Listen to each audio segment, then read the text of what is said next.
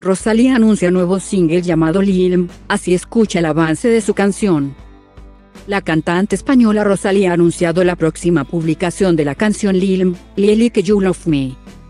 Con un mensaje en redes sociales en el que dirige a la pre-reserva del esperado tema en distintas plataformas para que sus seguidores puedan recibir un aviso cuando sea publicado dentro de la actual estrategia de anunciar con cuentagotas e ir dando pinceladas de futuro lanzamientos para generar expectación en redes sociales.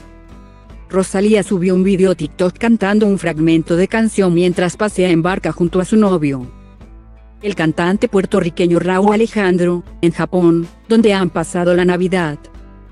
Posteriormente borró este video y días más tarde subió otro de menos de un minuto en el que se la ve cantando sola este animado tema pop con deje aflamencado, y Don't Let Honesty Baby. Lily que you love me, Lily que you love me cover me in a dream, Il bello urs. Or fantasy june de Honesty Baby, Lily que you love me, Lily que you love me my vida pienbe come real en for me. Si finalmente toda la canción es en inglés, será la primera que lance en este idioma en solitario aunque fue coautora y cointérprete de Barefoot in the Park, un tema de 2019 en el que cantaba con el músico británico James Blake. Y de Blinding Lights con el canadiense The Weeknd en 2020. También ha publicado versiones de canciones como Easy Darkness, que cantó el estadounidense Johnny Cash.